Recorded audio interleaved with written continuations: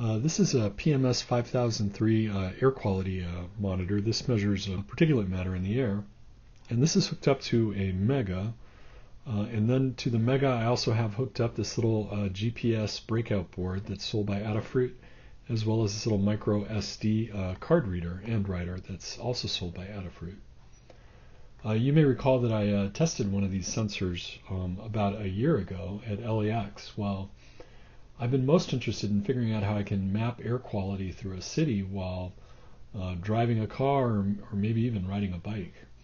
So along these lines, I built this portable unit with the goal of having a mobile air quality data logger with GPS capabilities. When I originally tried wiring up all this hardware to an Arduino Uno, I quickly discovered I needed two hardware UART serial connections to uh, talk to the air quality sensor and the GPS. In the case of the Uno, I only have one, whereas with the Mega, there are three uh, extra serial connections available. So it makes it a lot easier if you want to hook up uh, multiple pieces of hardware that talk over UART. As for the other hardware, this little SD card reader uh, runs off the SPI pins uh, on the microcontroller, and the LCD is uh, talking to the microcontroller using I2C. The sketch that's running on this uh, hardware right now is actually cobbled together from several other sketches that I found in Adafruit's libraries, coupled with uh, code from user posts. And what it does basically is uh, take a uh, air quality reading every five seconds, and uh, it'll write that data to this little SD card, and it will also display it on this LCD screen. Um, and currently, I don't have the GPS uh, figured into the uh, into the programming yet because I actually wanted to get this up to a point where I could take it uh, to an event that's happening today to see if the uh, PMS 5003 uh, sensor uh, responds accordingly, and I'll, I'll, talk about that in a minute. But the bottom line is, is I will pretty soon have that GPS integrated and logging data to that SD card, and that opens up all kinds of interesting possibilities like writing a file that I can automatically import into Google Earth uh, as a KMZ and and having it uh, map my location with air quality data uh, over the course of a day. There's all kinds of interesting things you can do. One last thing I'll mention this has is this little um, uh, this little SD card reader so that I can take the SD card out of the data logger, plug it in here, and then just add a micro USB cable uh, and fire that off to my uh, laptop and then open the the data that was written by the data logger uh, using Excel uh, since it's going to be written to a text file.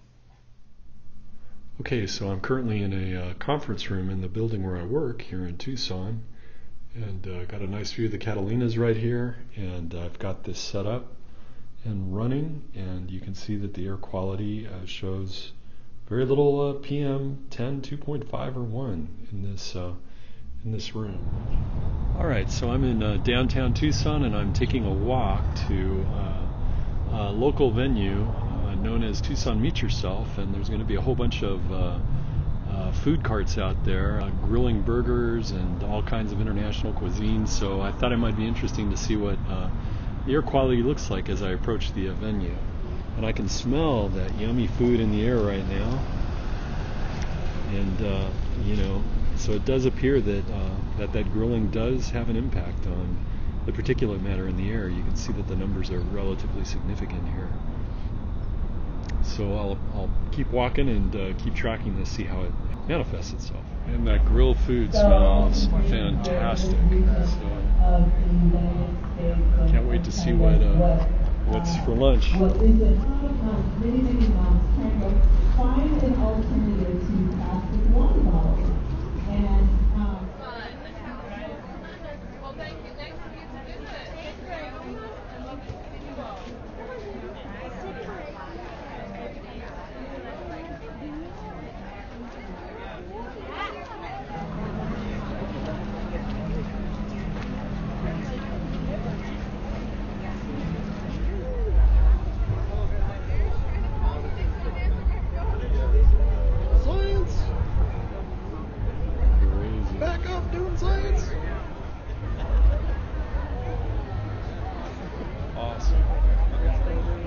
Okay, so I'm back in the atrium of my building. I'm uh, only a couple blocks away from that festival, but you can see that this area is kind of semi-enclosed.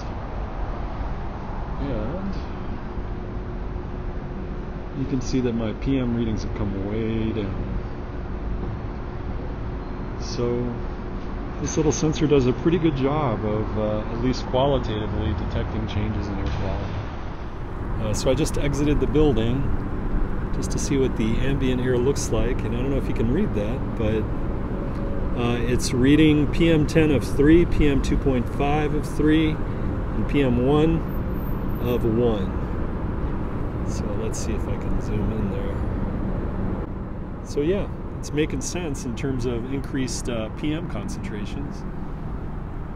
So I'm going to start heading in that direction, and then I'll pause periodically to see what air quality looks like on my ride home.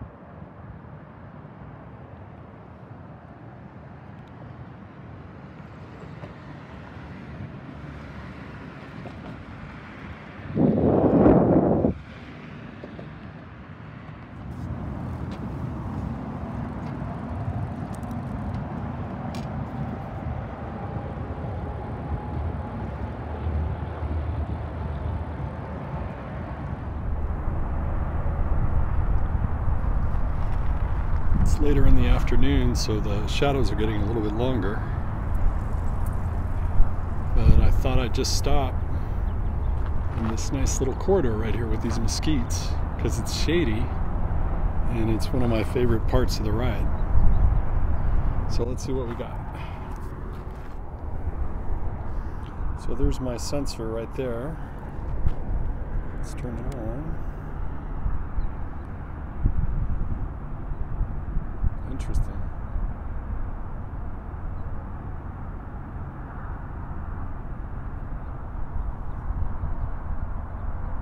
Oh, there we go. So what I've noticed with this is when it's riding in the in my basket in the back, um, when I initially turn it on, it registers really high, but then if I let it sit for, for a few seconds, it comes back low again. So I guess the lesson is you want to you want to kind of have it equilibrate with whatever environment you're you're monitoring. So just let it sit for, for, for maybe 30 seconds or more and see what comes up.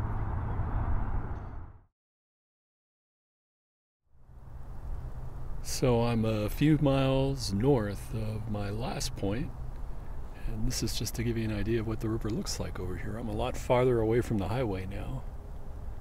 I can still hear the road noise, but uh, it's still really beautiful out here, especially during sunset. The shadows come out, and uh, it's just a nice place to go bike riding. Anyway, here are the results for this part of the journey. Not a lot going on with uh, PM10 2.5 or 1.0.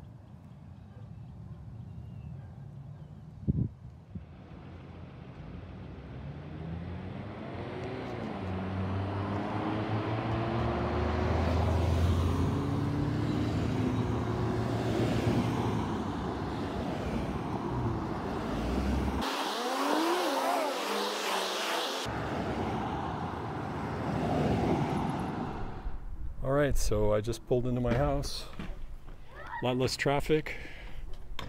Kids are playing outside, so that might be generating a little bit of dust. But looks pretty good. Not a lot of variability, uh, except for those little spikes uh, when I was standing next to moving traffic.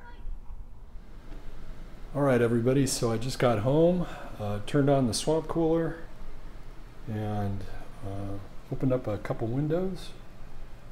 And that's what the PM readings are on a nice day in October in Tucson.